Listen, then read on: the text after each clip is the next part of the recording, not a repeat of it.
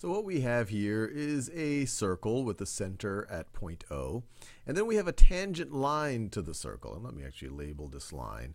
Let's call this line L.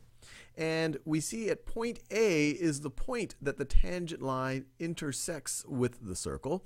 And then we've drawn a radius from the center of the circle to point A.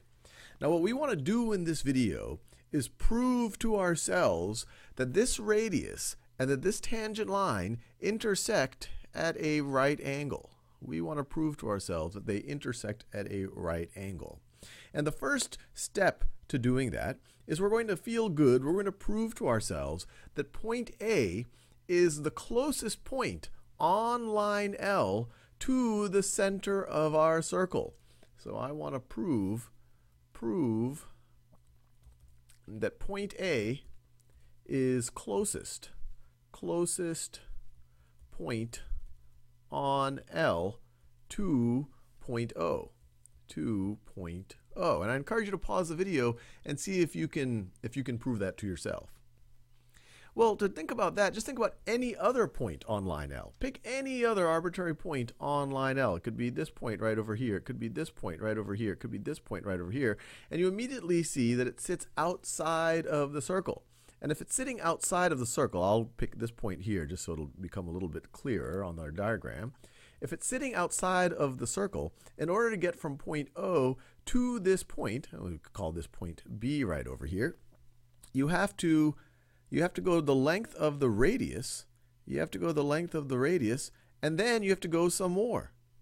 So this length, the length of segment OB, is clearly going to be longer than the length of the radius because you have to go to the radius to get to the, uh, the to get to the circle itself, and then you have to go a little bit further for any point that sits outside of the circle. So point A is the only point, by definition, this is a tangent line, it's the only point that sits on the circle. Every other point on line L sits outside of the circle. So it's going to be further.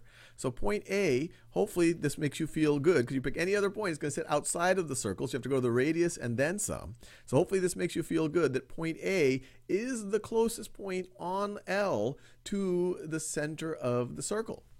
Now we're not done yet. We now have to convince ourselves that if we have a point and a line, that the segment connecting the point to the closest point on the line to, to that original point that that's going to be perpendicular to the line. So let me give ourselves some space here.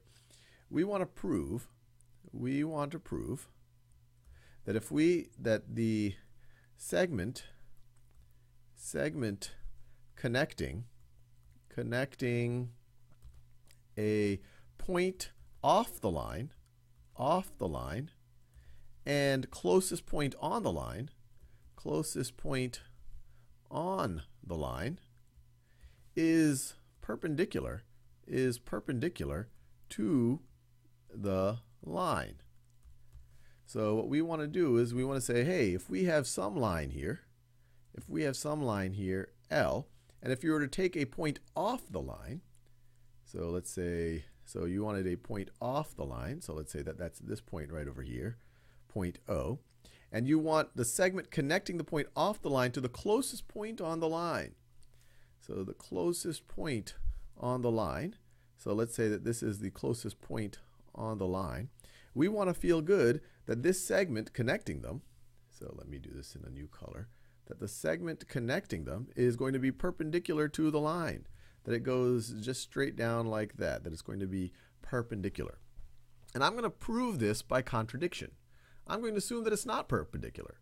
So assume, assume that the segment segment connecting connecting this is kind of wordy a point off line and closest point to the line closest point to line line is not is not perpendicular to the line.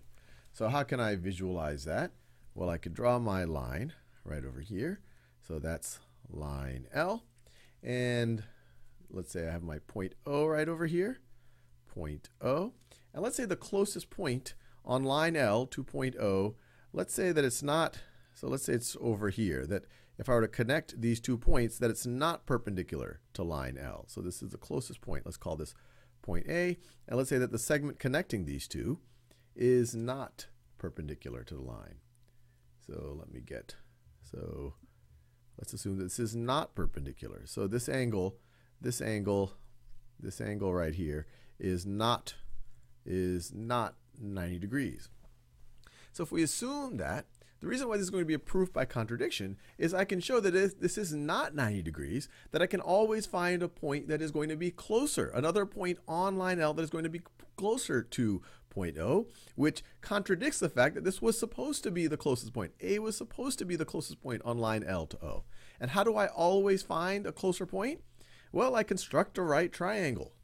I can construct a right triangle uh, just like this. I can construct a right triangle like that. And we see that this distance, let's call this distance right over here A, unless we could call the base of this triangle B. Let me do this in a different color. So A, B, if that's the base of the, the right triangle, then the hypotenuse is the distance from O to A.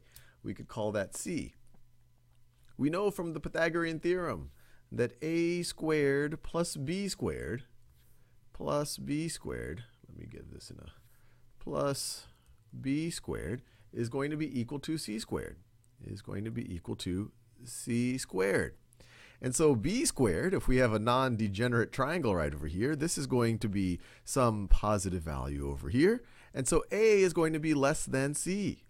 So this gets us to the conclusion. Because if this is some positive value here, and a and c are positive, everything are positive distances, then this tells us that a has to be less than c. That a non-hypotenuse side of a right triangle, of a non-degenerate right triangle, assuming it has some area, is going to be shorter than the hypotenuse. The hypotenuse is the longest side.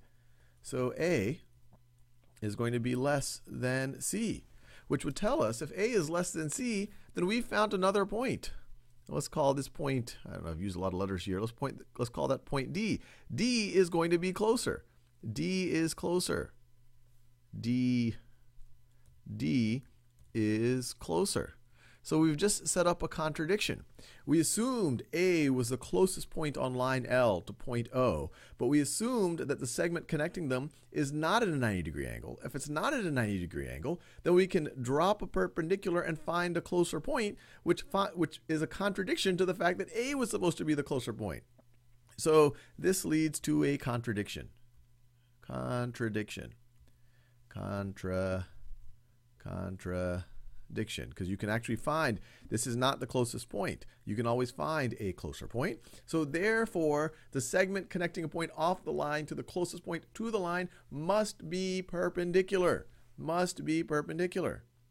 So the segment connecting a point off the line to a closest point on the line, that must be perpendicular to the line must be perpendicular to the line.